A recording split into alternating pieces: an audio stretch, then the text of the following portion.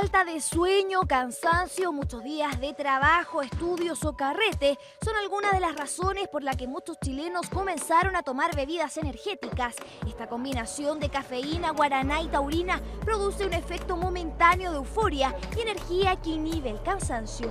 Intento tomar para a ver si me hace efecto, pero no funciona. Cuando tomo normalmente son como unas cuatro. Una vez en el día, pero solo en ocasiones especiales.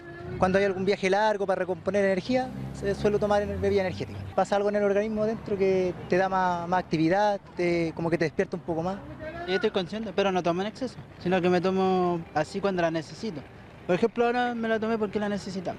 ¿Tenías sueño? Claro.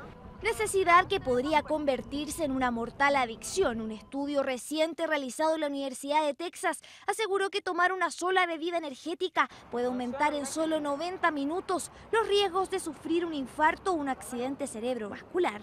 Y realmente el grupo de, gente que más consume las bebidas energéticas son en general jóvenes, en general de sexo masculino o adultos jóvenes.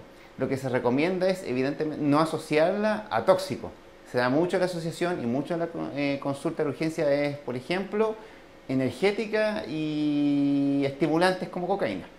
El exceso de estas bebidas estimulantes mezcladas con alcohol podría causar un efecto similar al consumo de la cocaína, euforia, pérdida del apetito, dilatación de las pupilas y falta de sueño. No, no tomo bebida energética porque hay mucha cantidad de azúcar, no, no está dentro de mi alimentación. Yo creo que todas las personas reaccionamos de distintas formas. Hay personas más ansiosas que otras, así que yo por mi parte estoy tranquilo.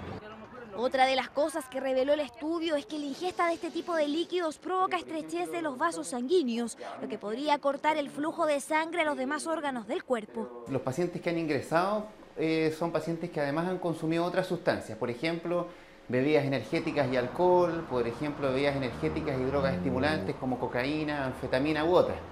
Entonces se hace bien difícil saber si efectivamente fue la bebida energética o si eh, es el otro componente que, que nosotros ya sabemos que son efectivamente tóxicos cardiovasculares riesgos asociados a un producto que va en aumento. Por ahora, los especialistas recomiendan que su consumo sea absolutamente moderado, ya que podría ocasionar severos daños a la salud.